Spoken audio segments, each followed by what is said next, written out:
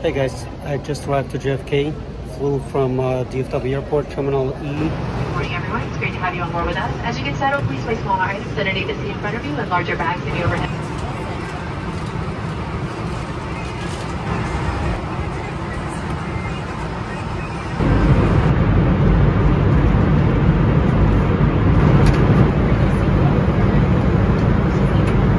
Hey guys, I just arrived to JFK, flew from uh, DFW Airport, Terminal E to JFK International. I've got about six and a half to seven more hours before my next flight, so my international flight.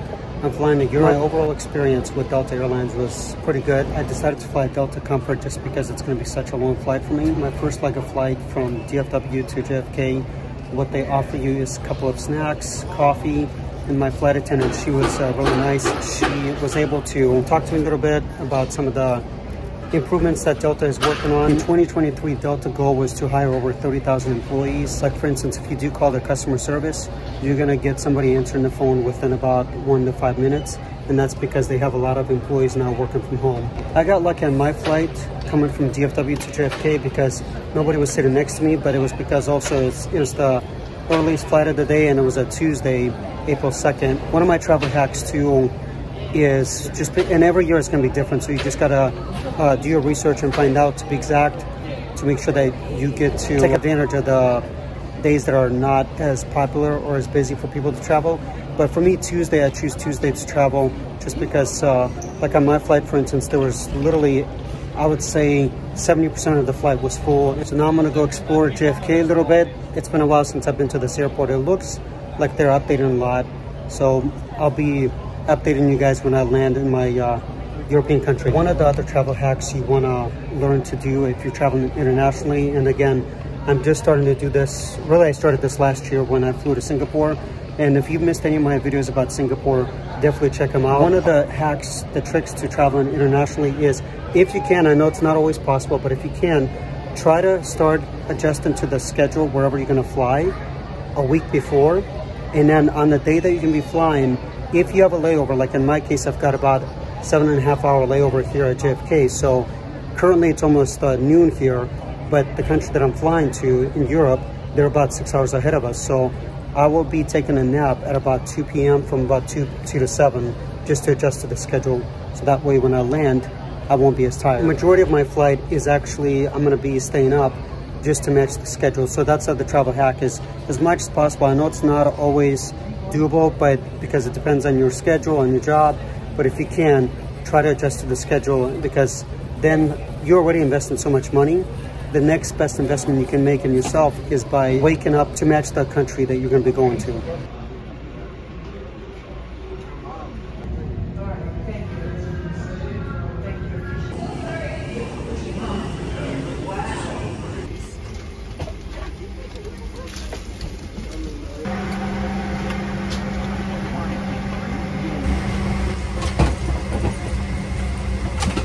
Guys, I paid for business class. The only thing it doesn't have, there's no window here.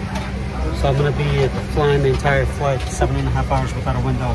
Well, technically I got this little window right here, but the whole reason I wanted this seat is to uh, try to get some good shots when we get to Zurich, but I guess that's not happening with this big space here. First impression, not bad for business class. Let me show you some of the things that uh, Delta business class offers.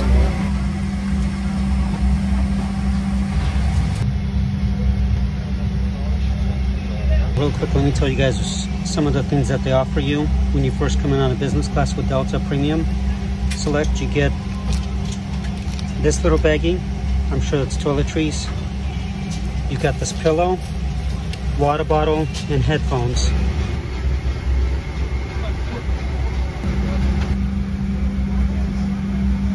Before our flight takes off, let me show you a little bit.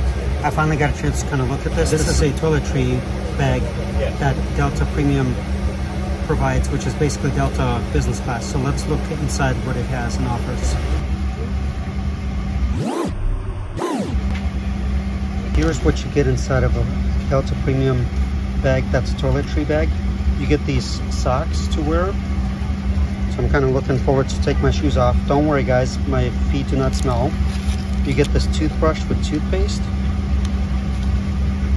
Let's see what else is in there. There's a couple more things. You also get, sorry, my first time opening this, so you guys are seeing the same thing as I am for the first time. You get this lip balm, Grown Alchemist, and there's one more thing. I think you get a sleeping mask with something else here.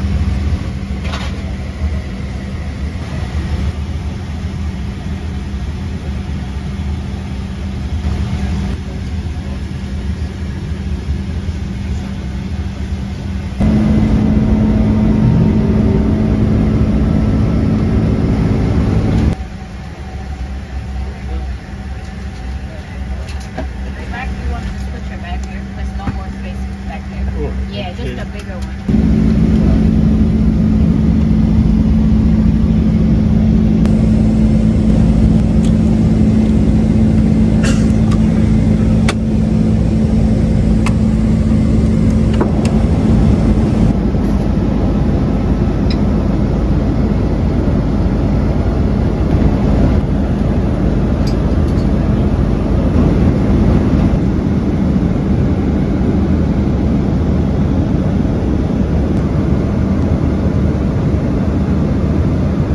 Hey guys, we're about less than half an hour away.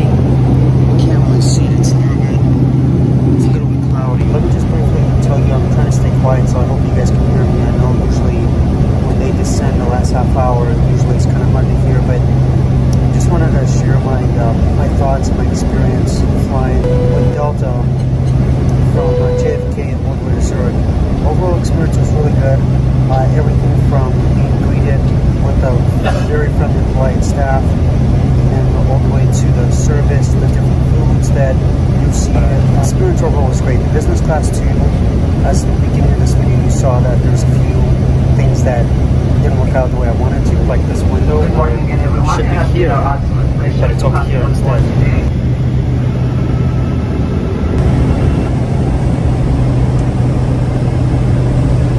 a couple of things that were for me to review this time.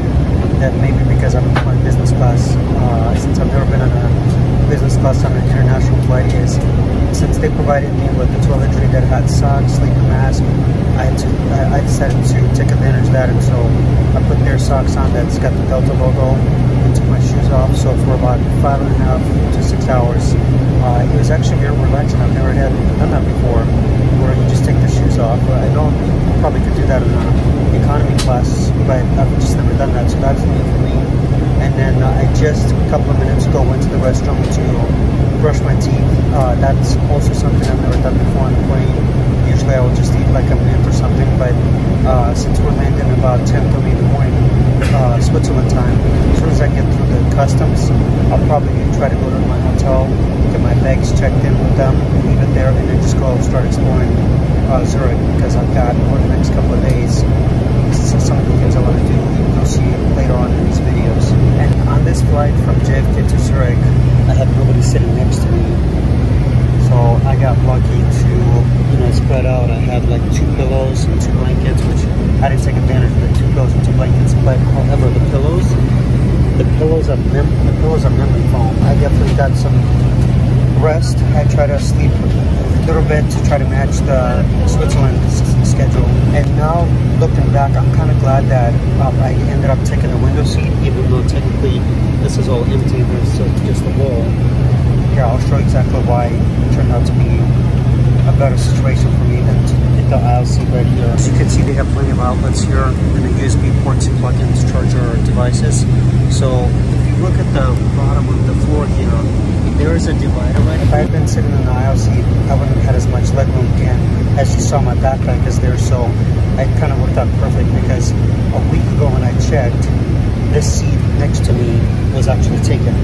So for whatever reason, whoever it was, they must have canceled it or decided not to fly. So worked out perfectly for me. And the two seats in front of me, they're also empty.